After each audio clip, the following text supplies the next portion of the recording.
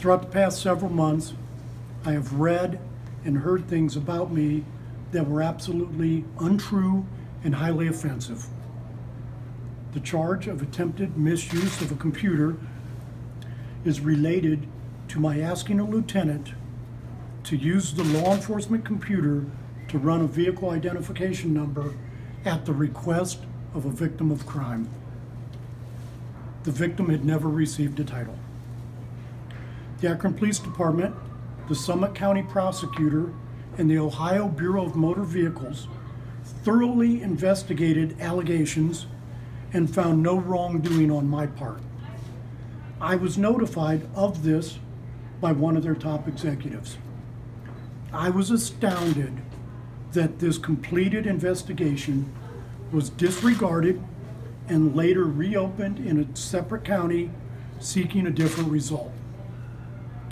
This situation arose out of, out of an effort to see me unjustly removed from my position as the Akron Police Chief.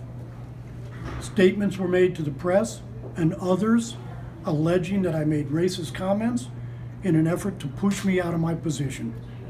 And those statements are absolutely false. I've also been, I have been a staunch advocate and supporter of the African American community, especially here in Akron, where I am a member and maintain close relationships with the NAACP. Numerous members of the Akron African American community will attest that this is simply not in my character.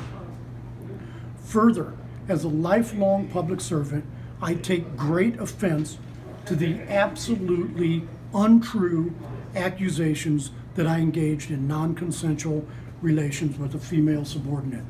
This is simply not true. These false allegations led to an unjust end to my employment with the Akron Police Department, which has caused me great economic and emotional harm that I have to live with every day because of the damage to my reputation and my career. Although I now begin a new career, although I now begin a change in my life, I do so having been greatly damaged by these events and intend to seek justice to rectify them. That's all.